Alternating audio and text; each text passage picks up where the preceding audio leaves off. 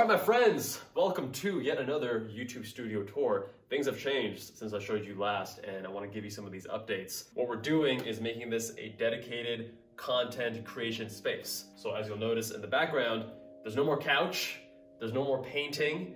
This is just content creation. So let me show you around. First off, we have this talking head section. You'll recognize this from all of my YouTube videos. And again, the, the main thing here is just to create, reduce the friction so that it's easier to create content. So of course, sit here at my standard IKEA table.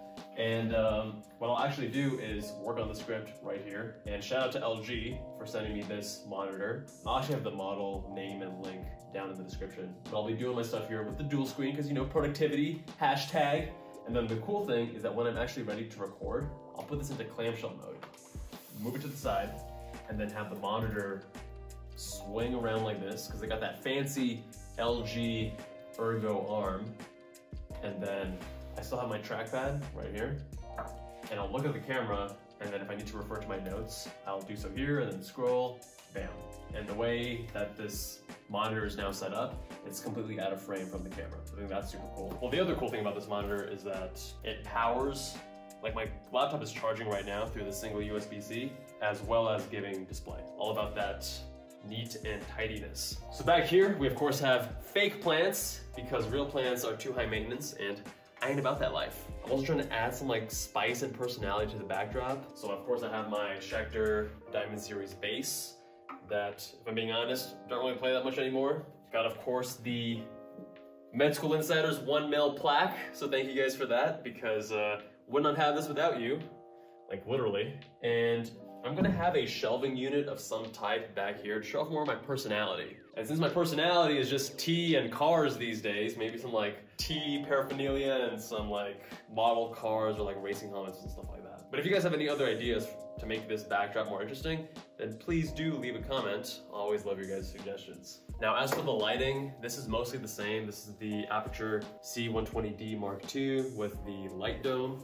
This is my main light. As for the audio, I'm using this Sennheiser shotgun mic. I'm gonna have a link to this and all the other items down in the description.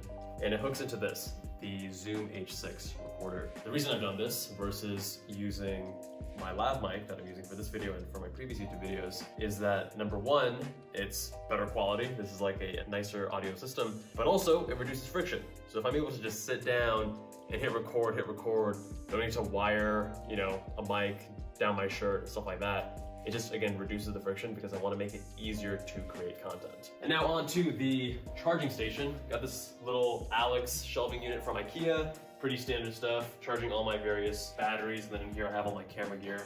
Um, everything from lenses to microphones and all that jazz. So as for the cameras, we have the Sony a7S III with the 50 millimeter 1.4 Zeiss lens and the a6400 with the 24 to 70 G master lens. Same setup I was using before, and of course links to everything down in the description. The cool thing is that these are pointing to the talking head, right? But again, minimizing friction. So you just turn these around and then bam, you have the podcasting setup right behind. So the podcasting setup.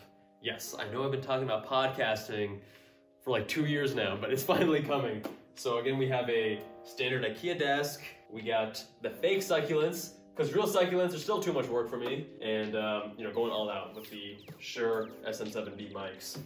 I haven't mounted them yet because I got these these two microphone arms, which are great, but I need to drill into the table to actually install them. And then the other thing, as you'll notice, is I have another LG monitor. Shout out to them for sending this my way. And what I'm planning on doing, I got this idea from Peter Attia's podcast. I'm gonna sit here and then video chat, you know, Zoom call, whatever, guest and I'll have the camera over my shoulder. And in doing so, it actually gives it a more personal, kind of more real life feel in a way, versus just having their video chat show up on the screen, if that makes sense. So when I do have a guest over, I'll either, you know, move this out of the way, have them sit there, or just remove the, the monitor entirely from, from the desk. But that's the setup. This is the new and improved YouTube slash content creator studio. If you guys have any suggestions on how I can further improve it, things to just look out for, please do leave your comments down below. Thanks for watching, and I'll see you all in the next one.